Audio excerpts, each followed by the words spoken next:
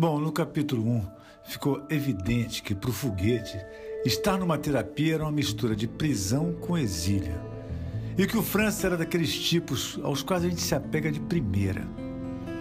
Camila Pistori colocou uma simpatia na Virgínia que eu não havia previsto. E foi submetida a uma canseira que só uma atriz valente consegue enfrentar com bom humor. Ô, Senhor! Ficou clara a urgência de João Pedro em melhorar do seu ciúme patológico e a culpa de Yasmin por ser casada com dois homens. Vera permaneceu um mistério. Cara, pior que só tem maluco na terapia, cara. Só sequela brabo, assim. Só pra tu ver, tem, um, tem uma mulher que é casada com dois homens ao mesmo tempo. Homenagem, os bagulho assim. Tem um maluco que é. Ele tem tipo uma doença de ciúme, tá ligado? Tem um cara que é. Esse moleque é engraçado. O cara era famoso pra caralho, assim, no, no século passado, tipo. Fazer shows, caralho, agora não faz mais. É, é um bando de maluco. E, e a terapeuta, cara, não fala porra nenhuma, cara. Eu fico pensando, cara, pra que, que essa porra ajuda, sabe?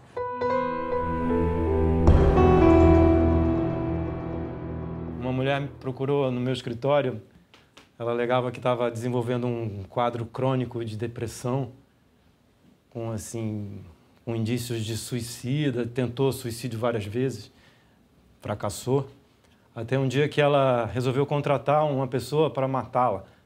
Oi? É, ela pagou adiantado o criminoso, só que ele não. Tem que ser adiantado mesmo. É, senão ela não estaria lá, se ela não teria ido no consultório me consultar. Mas ela queria que eu entrasse na justiça contra o sujeito para ela reaver o dinheiro que ela havia pago pro, pro criminoso. Lisa ama a inteligência, a generosidade e a ética de João. Mas, como pessoa independente que é, reagiu mal aos primeiros sintomas de ciúme do marido. No início discordava, discutia. Mas desde que João se descontrolou pela primeira vez, ela mede suas atitudes e palavras, exercendo uma subserviência que não tem. Eu tenho pânico dela não ser sincera.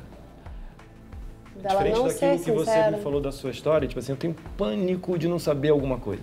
Se ela sentir um desejo que for, eu, eu quero saber. Porque você é sinto- um controlador de merda. Sim, Por isso. Eu não você con- quer ter o controle da tua vida, só que você não tem controle. Ninguém tem o controle da vida. Eu sei. Você quer ter o controle da tua e da tua mulher, inclusive. Você é tipo doente, sabe? Amor, já tô indo. Até mais tarde. Não vem me dar um beijo? Ai, peraí. Peraí, tô indo. Sabe quando você pega um bebê e joga pra cima? Um bebê de um ano de idade e joga pro alto? Ele gargalha porque ele tem certeza que na queda alguém irá segurá-lo. Eu acho isso pra mim é confiança. Não. Por quê? Ele gargalha porque ele é um bebê e não sabe de porra nenhuma. Que figura. Se ele continuar caindo, ele vai rir até ele cair no chão e se fuder. O que que é confiança pra você, Foguete? Cara, confiança é quando o traficante dá droga pro aviãozinho e sabe que se o aviãozinho fizer merda, ele vai se fuder depois. Isso é confiança. Tem um, um amigo meu, né, das antigas aí, que não via há mó tempão, encontrei com ele essa semana. E aí o cara veio, me deu uma esperança, assim, que ele veio falar de um contato quente, assim, já na mesa mesmo da gravadora com o cara. Então, assim, ele já me passou esse contato, que eu vou lá essa semana, e, cara, me abriu uma esperança, né, de... Caramba. de- porque assim, não é fácil não, Sim, gente, arrumar um negócio caramba. assim. É muito tempo, assim, eu tava totalmente, sabe, tava com foco em outra coisa mesmo. Então veio esse negócio e me abriu um, sabe, dar uma respirada, assim, então... Injeção de ânimo, é isso aí. Gravadora? É. Acho que a coisa mais difícil da vida hoje em dia é recomeçar, voltar. É, se você pensar um artista na sua época, é, vivia como, né? Fazia show, televisão, rádio. Hoje em dia é o quê? Você tem que ter um Instagram com milhões de seguidores, você tem que ter um vídeo no YouTube lindo, sabe? Você tem que ter um Facebook bombado. É, O público Desculpa ser cruel falando isso, mas assim, é, é- é- é impressionante como assim que o, o- o fã que fala, o fã gosta de um artista, ele posta na internet. Tipo assim, é outra época. Acho que a coisa mais difícil é você falar assim, vou recomeçar. Não, olha só. É praticamente impossível. Chega, chega, chega, pelo amor de Deus, olha só. Eu acho que você tá passando do ponto, João Pedro.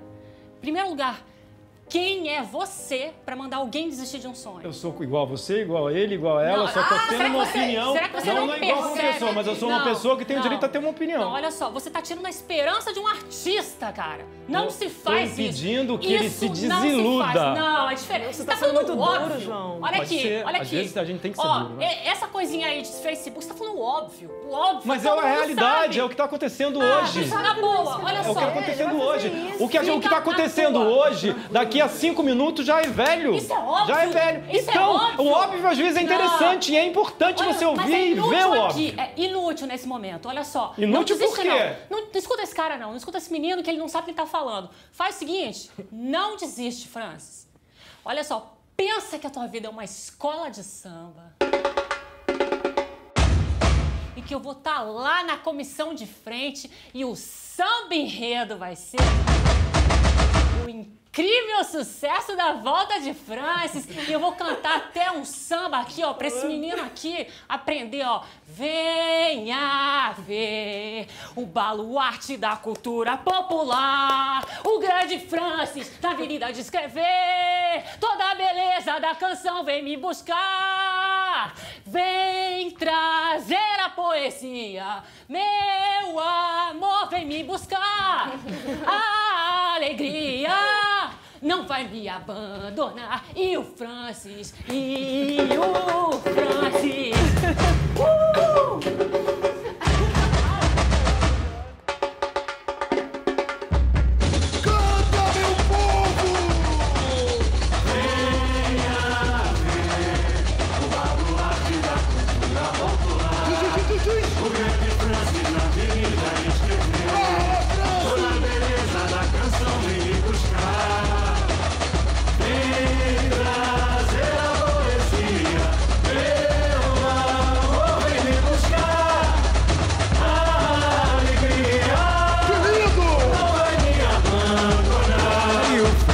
Francis.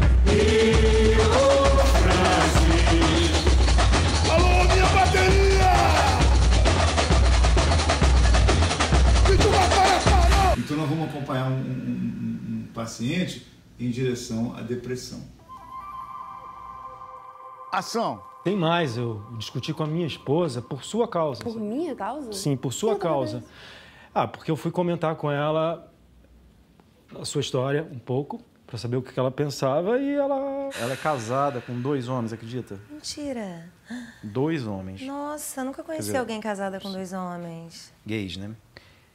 E é Não. pedagoga, dona Gays de uma não, escola. porque eles são casados com ela, eles são bi. Né? É, é difícil entender isso, mas. Gente, mas que ótimo. Que E- que é mas ótimo? o problema dela na terapia que, que, ela que é tem. ótimo? Você acha ótimo? Ué, ela ser casada com dois homens. Você acha ótimo? João, te falar uma coisa, cara. Essa mulher te ama pra caralho. Porque você é tão insuportável que só te amando muito mesmo. Tem sempre a hora do encontro entre como eu te vejo e você. Tem sempre a hora do encontro entre como eu te vejo e você.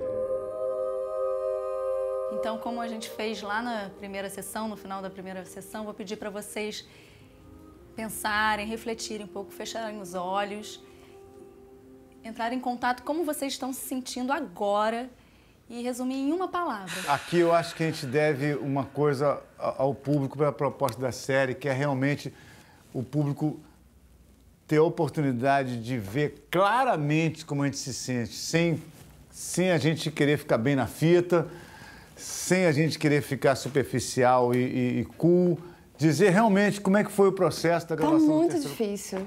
Eu per- A sensação que eu tenho é que, como se fosse o cavalo, perdi Yasmin. É... Nós... Tudo que nós conversamos e pontuamos que seria importante para o processo está me confundindo muito. Mas vamos tentar esclarecer. O João Pedro representa, na sua atitude tradicional, conservadora, rígida, uma ameaça a você que vive uma vida com dois maridos, portanto, no mínimo, diferente. Além disso, você pressente nele um perigo é, que, que, que a série vai mostrar que vai acontecer. Amanhã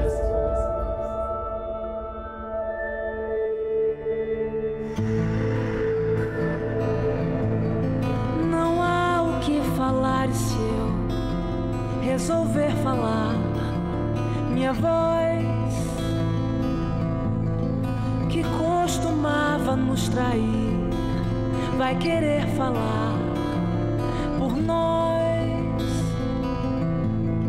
E é como espelho refletir e a imagem rir da voz. E a voz que a gente produzir, quebrar e rir de nós.